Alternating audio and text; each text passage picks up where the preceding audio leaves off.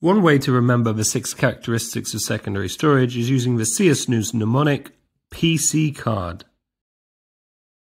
Portability relates to moving a storage device between locations. Small devices are easy to transport from one location to another in a bag or even a pocket. Capacity is the maximum amount of data that can be stored. Traditionally, this was measured in gigabytes, but many modern devices use terabytes. The price of storage devices can be compared per gigabyte.